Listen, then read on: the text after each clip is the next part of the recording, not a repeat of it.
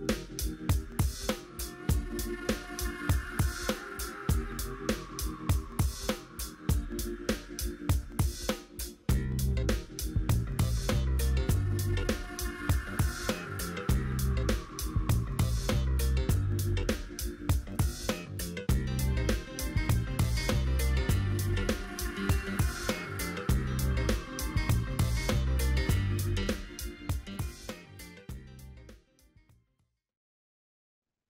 The title of this podcast is Get Wise to the Untrained Mind.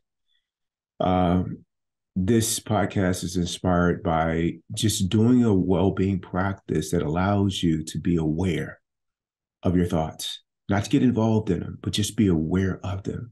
As I've said many times before, when I am troubled or going through something where I feel wrong, blamed, uh, I feel shame or guilt, or I'm operating from a place of fear, or my mind is operating from a place of fear, that's the wrong time to listen to my mind because it is always wrong and it always gives bad advice.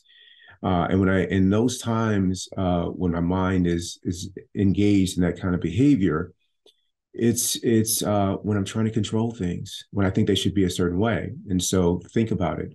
You know, if you think that your children, significant other, your coworkers, neighbor, neighbors, government, or life situations should be a certain way, uh, all of these are out of your control.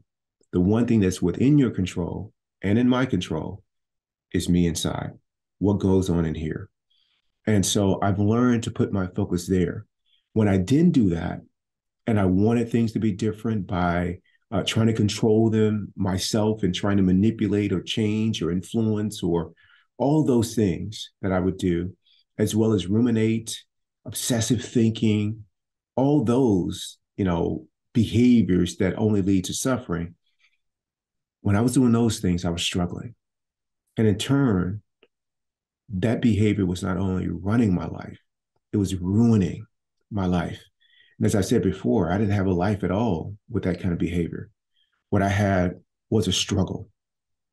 And so I really learned that the, that the real problem when I'm suffering inside inside. Now, there could be things going on outside, a lot of that's out of my control. But even when I tend to those things, I want to be peaceful as I do so.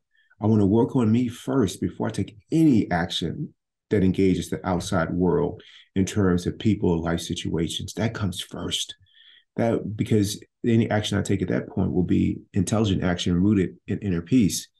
So the real problem in the past, when I would engage in some of this behavior, the real the real problem of taking advice or following the lead of an untrained mind is is that it's a reflection of my inability and a lack of a commitment to work on me so that I don't need the outside world to be a certain way.